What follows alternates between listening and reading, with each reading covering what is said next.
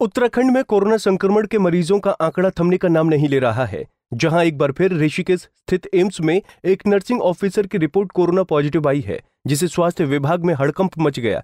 बताया जा रहा है कि नर्सिंग ऑफिसर यूरोलॉजी विभाग से है, वहीं इसके अलावा दून मेडिकल कॉलेज में भर्ती एक महिला भी संक्रमित मिली है। महिला को डिलीवरी के लिए अस्पताल में भर्ती कराया गया था, जहाँ खांसी, जुकाम के कारण महिला का सैंपल जाँच के लिए भेजा था, जो आज पॉजिटिव आया है।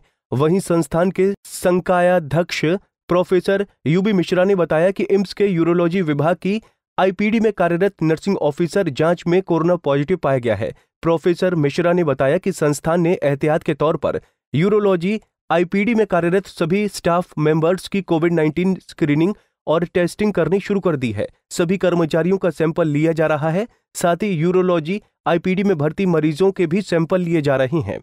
मेरे हमारा एक हेल्थ केयर वर्कर है, जो नर्सिंग अफसर है उसकी रिपोर्ट पॉजिटिव आई है।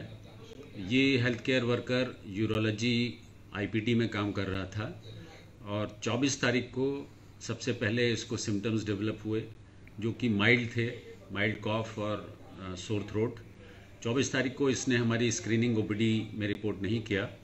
25 तारीख को इसको थोड़ा सा सिम्टम जब ज़्यादा हुए तो इसने स्क्रीनिंग ओपीडी में रिपोर्ट किया। वहाँ इसका सैंपल लिया गया और 25 तारीख की रात में उसकी रिपोर्ट पॉजिटिव आई है। इसके क्या कारण हो सकते हैं?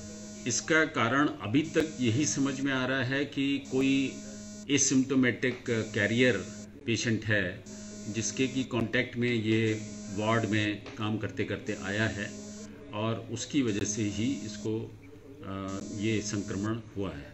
वहीं मेडिकल ऑफिसर के कोरोना पॉजिटिव होने पर उत्तराखंड में अब कोरोना संक्रमित मरीजों की संख्या 50 हो गई है।